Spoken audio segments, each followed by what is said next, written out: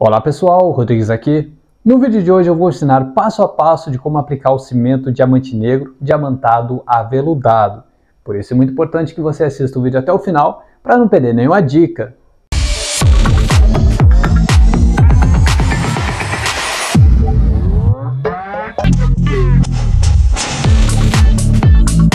O cimento diamantado aveludado traz o brilho do diamante e o visual do veludo para sua decoração, muito usado em decorações modernas, ele valoriza o ambiente, deixando com muita sofisticação e modernidade.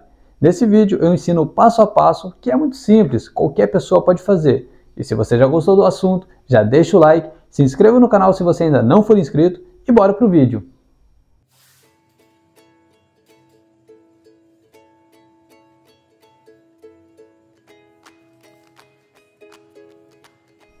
Galera, a primeira coisa que é muito importante e não podemos deixar de fazer é passar uma fita em todos os recortes, tanto no teto como nas laterais. Se a sua parede for igual a essa, que não tem teto rebaixado e nem moldura, você tem que prestar muita atenção, tem que fazer com muito cuidado, pois qualquer deslize aqui e fica bem torto e acaba ficando bem feio o acabamento depois. Nessa hora não pode ter pressa, tem que fazer com cuidado. E se não ficar bom da primeira vez que você passou a fita, você tira e arruma ela novamente, porque essa parte tem que ficar perfeito. Eu costumo dizer que o recorte é o que diz se o pintor é bom ou não.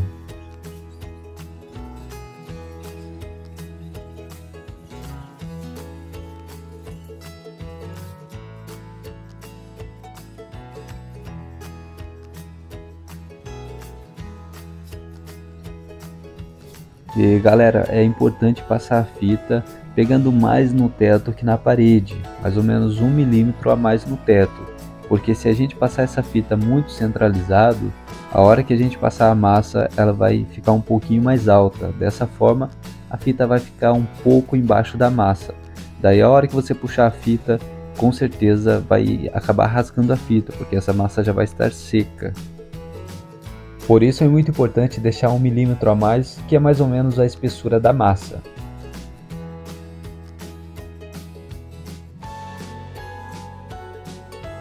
E depois de passar a fita em tudo, devemos passar uma tinta da mesma cor da que foi pintado o teto, que no caso é sempre branco, né? Então devemos passar ela em cima da fita para entrar em todos aqueles espaços que a fita não colou direito.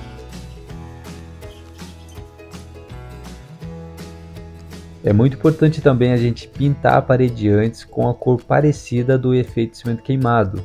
E o legal também, galera, é que podemos usar qualquer resto de tinta. Nesse caso aqui eu estou usando um branco e pigmentando com preto para chegar no tom parecido com o preto que vamos usar.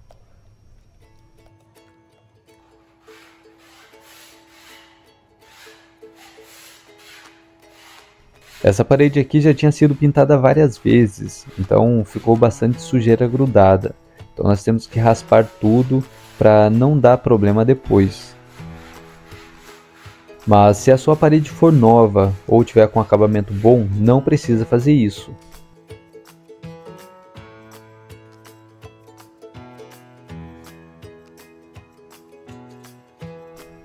E depois de esperar a tinta que passamos anteriormente secar, já podemos começar o recorte para pintar a parede.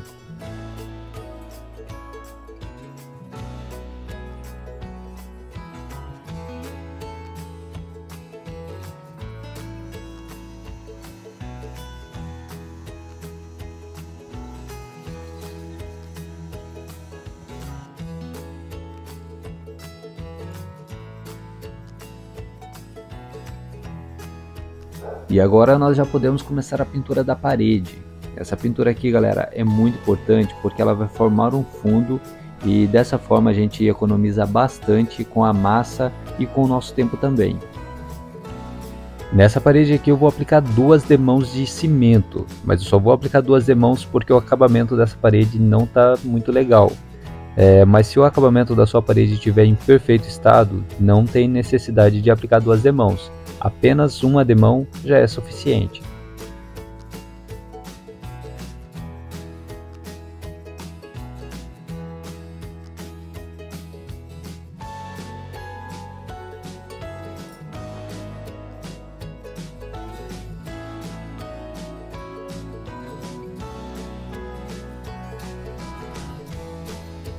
Eu já tenho alguns vídeos de efeito de cimento queimado aqui no canal.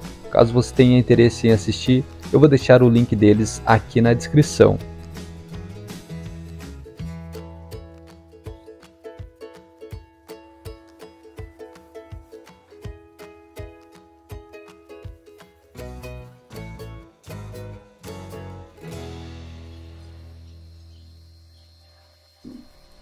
Galera, é muito importante essa pintura porque com essa pintura nós conseguimos reduzir em aproximadamente 50% o gasto com a massa.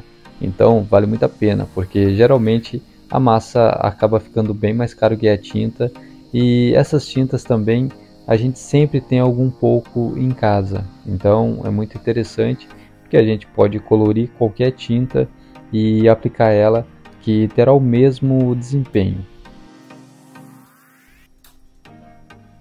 E se você for aplicar apenas uma demão de massa, é muito importante que você deixe essa tinta um pouco mais escura que a massa que você for aplicar, pois dessa forma depois ela ajuda a deixar aquelas manchas que fica bacana no cimento queimado.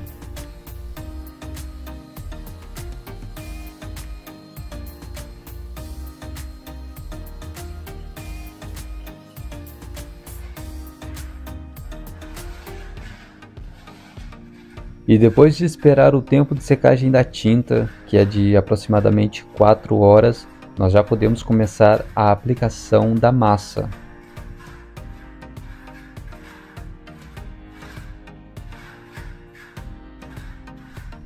Nessa primeira demão, é, eu não estou me preocupando muito em deixar os efeitos uniformes.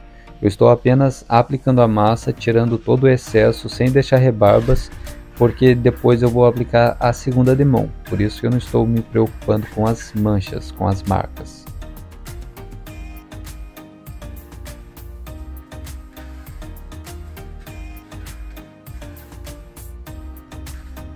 Na primeira demão eu estou usando uma desempenadeira para efeitos, mas também você pode usar uma espátula de silicone.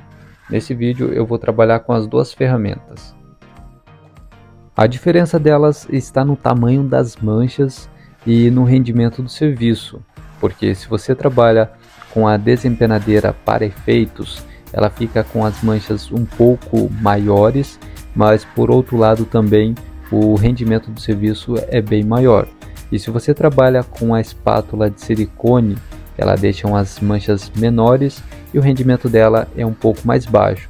Mas nessa parede aqui eu optei por umas manchas menores. Então, por isso que eu estou aplicando a primeira demão com a desempenadeira e a segunda demão eu vou aplicar com a espátula de silicone.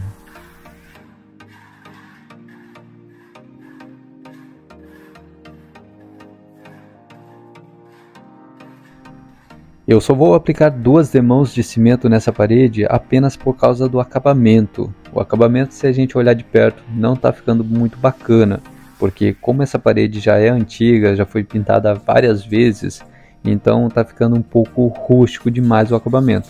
Mas apenas por isso eu vou aplicar a segunda demão. Se não fosse isso, se o acabamento da parede tivesse perfeito, em perfeito estado, eu iria aplicar a primeira demão já deixando as marcas, as manchas que eu queria já, e dessa forma não teria necessidade alguma de aplicar a segunda demão.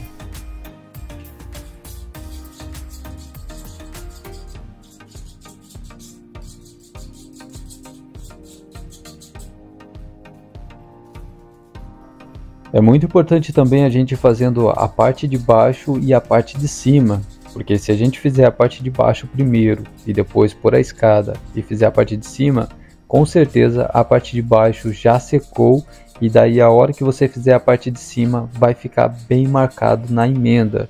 E esse tipo de marca não fica bacana com esse tipo de acabamento.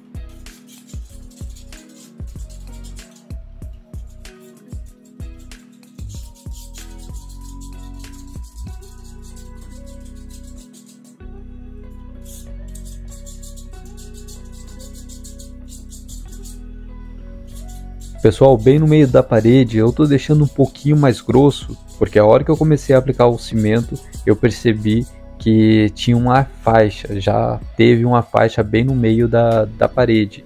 Então, galera, qualquer marca que tiver na parede vai marcar no cimento queimado, vai marcar no, no efeito.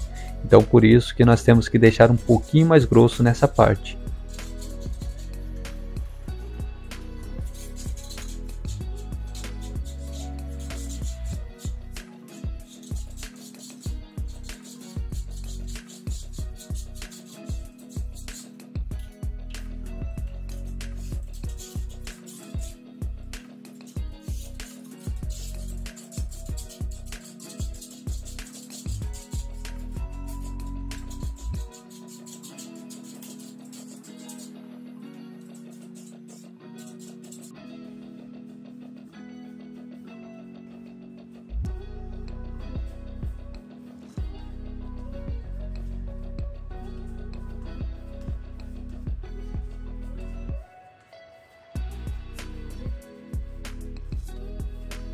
E agora, depois de aplicar a primeira demão em tudo e esperar o tempo de secagem, que geralmente é em torno de 4 horas, nós já podemos aplicar a segunda demão.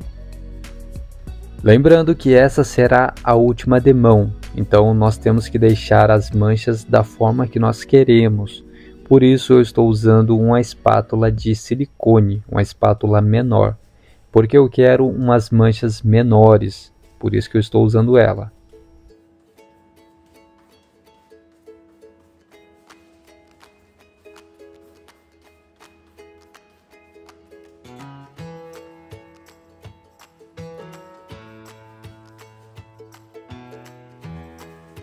O segredo dessas massas, pessoal, é sempre aplicar de diferentes formas, de diferentes sentidos, porque se você aplicar sempre do mesmo sentido, provavelmente não vai ficar umas manchas bacanas e nem vai ficar muito manchado também.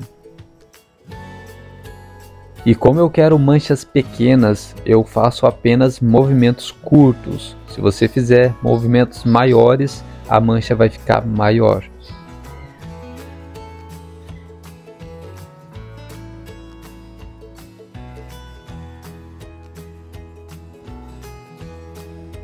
E se essas dicas estiverem te ajudando, não esqueça de deixar o like, se inscrever no canal se você ainda não for inscrito e ativar o sininho para não perder nenhum vídeo por aqui.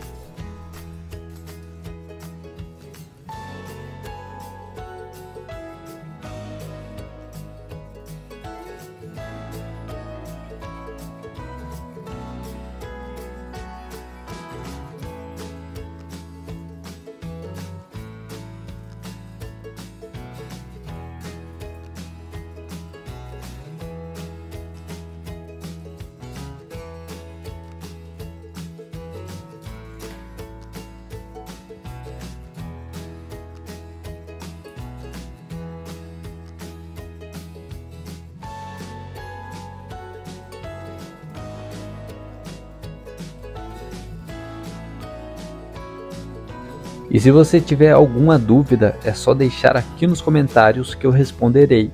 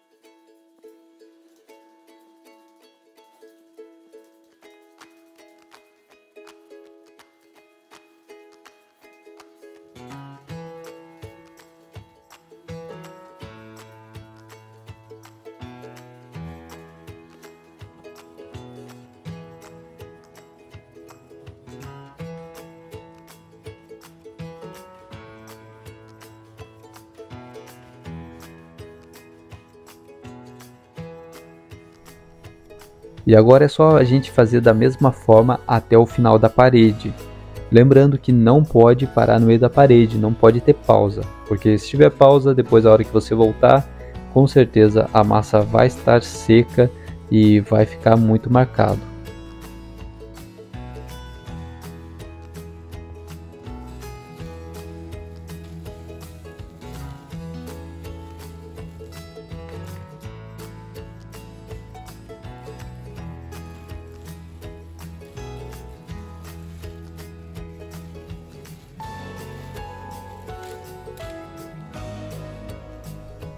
Pessoal, eu fiz questão de mostrar bem de perto o resultado da parede. Se você gostou do resultado, deixe aí nos comentários. E se você tiver alguma crítica também, pode deixar, não tem problema nenhum. E se você gostou do vídeo, deixa o like, se inscreva no canal se você ainda não for inscrito, ative o sininho para não perder nenhum vídeo por aqui. Forte abraço e até a próxima!